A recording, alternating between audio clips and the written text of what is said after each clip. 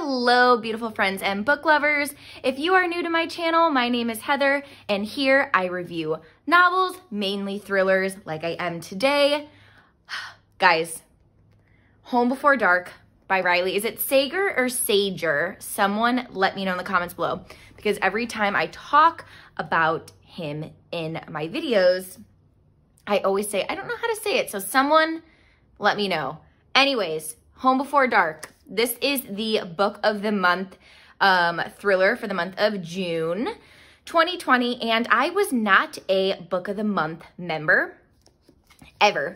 And I don't know why. Like, I just also probably should have painted my nails before this. Didn't do it. So don't judge me, please. Okay.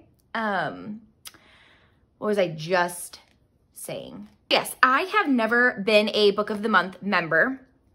And then I was looking and I saw that it was Riley's new book and I just, I had to do it. I was like, I have to get my hands on this. And it was an early release too. This book comes out June 30th, I believe, of this month. And I'm currently filming, what's the month? The, or what's the day? The 14th. So it was an early release. And I just look at this cover for a second. Can you guys just take a second and admire its beauty? It looks like it glows in the dark. It doesn't. I tried. Of course I tried but it's cool, right? I mean, it looks amazing. And I was like, you know what? This is my time to sign up for the book of the month. I have to get my hands on this book. Home Before Dark is a haunting story about a haunted mansion that has sinister secrets and an evil past. And just the entire time, you are feverishly turning the pages because you need to find out what happens to our main character, Maggie. So as in all of my reviews, I'm going to start off with the premise of the book, which is pretty much my non-spoiler review. So Home Before Dark follows um, a girl named Maggie who is, I think, around 30. And her father has just passed away and she inherits um, this huge mansion called, let me look at my notes, Baneberry Hall. And Baneberry Hall is a massive mansion that Maggie and both of her parents lived at for a very brief time. And when I say brief, I really mean brief, as in 20 days.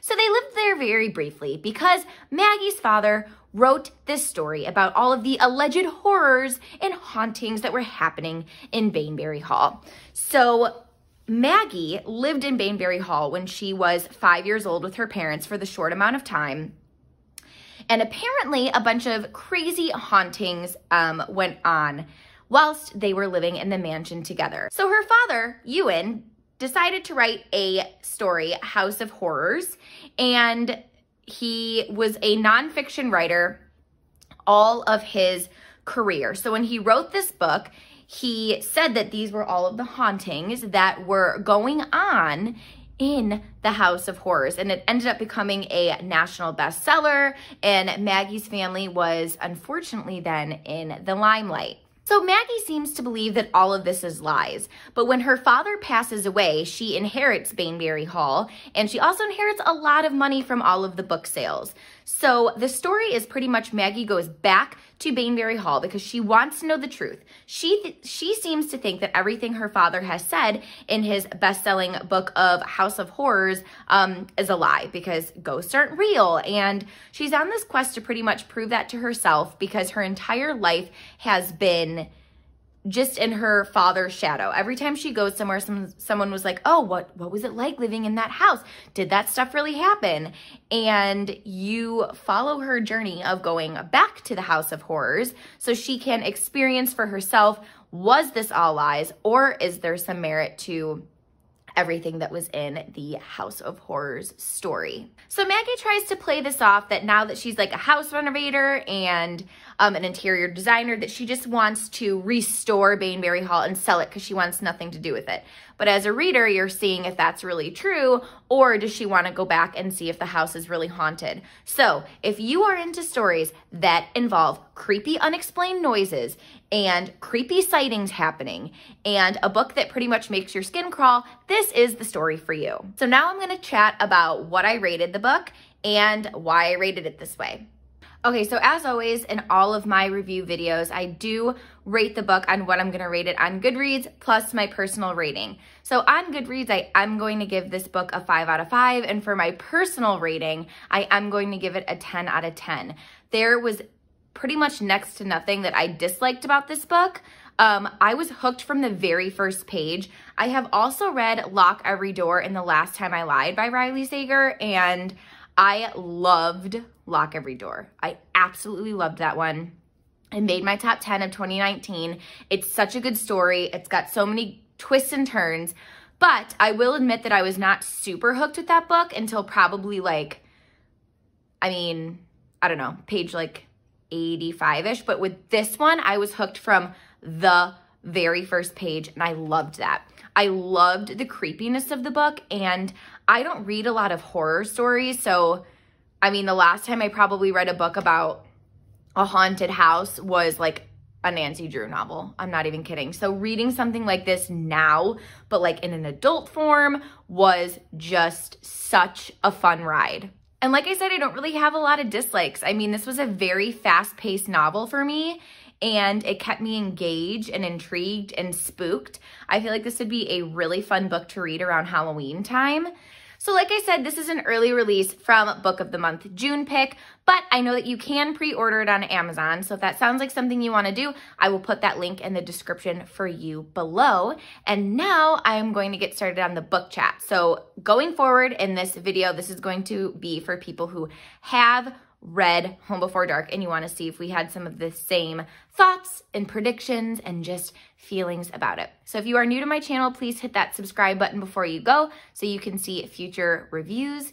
And yes, let's just get talking about Home Before Dark. Okay, friends, so if you're watching this now, you've read this book, and I really hope you enjoyed it as much as I did because I thought that this was such a fun ride. I felt like this was a modern day Nancy Drew, just like with her trying to solve everything. And I just, I loved it.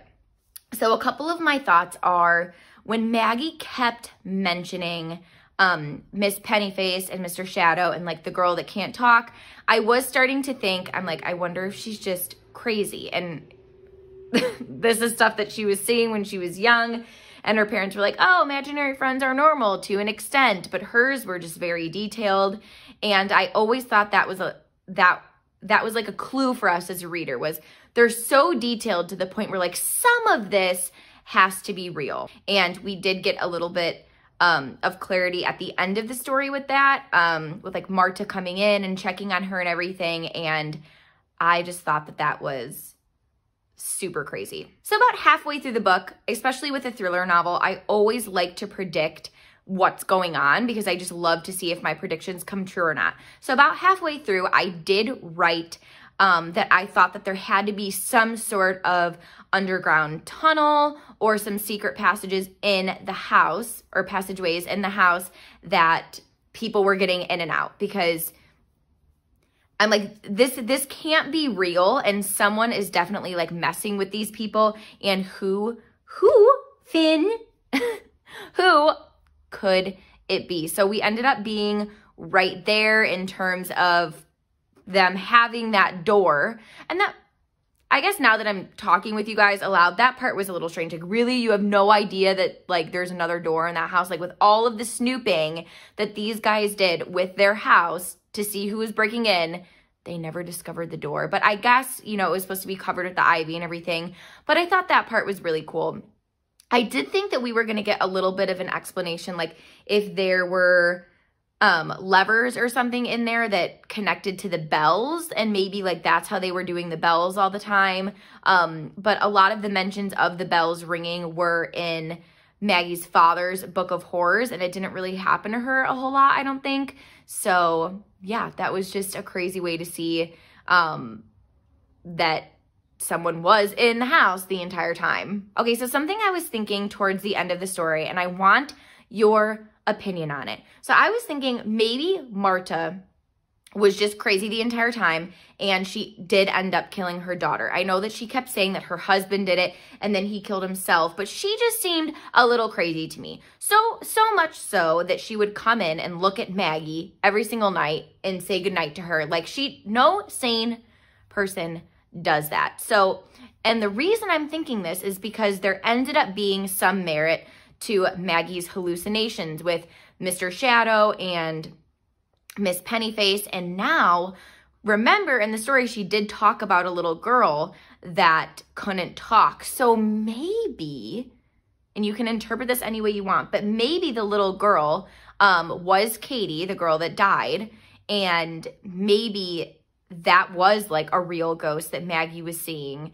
And we were supposed to infer that maybe Marta did kill her. And even though Marta was Miss Pennyface and Hannah and Petra's mom um, was the Mr. Shadow who came in and told her that she was going to die there. Um, crazy. But maybe the little girl was actually a ghost and Marta was crazy and ended up killing her and it wasn't her dad.